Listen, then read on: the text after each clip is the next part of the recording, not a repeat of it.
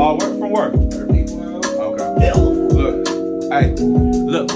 All this money on my brain, it's like they hired to hit. All this pussy in my lap, man, how I'm supposed to commit? I know some bitches from the past that never wanted the kid. All she wanna do is play in my bed. I tell her, baby, come here.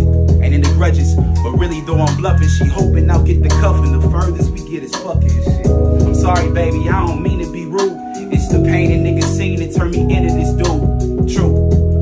Told me right before he passed. Find your lane up in this shit to keep your foot on the gas. And if you can do the dash, try your best not to crash. These niggas want what you have. Don't let them take you from that.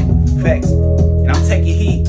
I'm paranoid about the chance I could be next to leave. I'm from a city that don't never hesitate to squeeze. They hoping you slip. I watch niggas kill Nip. How the fuck am I exempt? Hold up. Mm. I try my best not to claim it. But if I'm being frank, man, most of these niggas is shameless. Damn, I'm scared of therapy, but going soon. Cause how the fuck I'm supposed to heal with all these open wounds? Like when my mama died, they called me every day. That shit lasted like a week, but know that pain don't go away. Can't even count up on my hands how many sit up in my face, but never think to grab a phone and be like, nigga, you okay?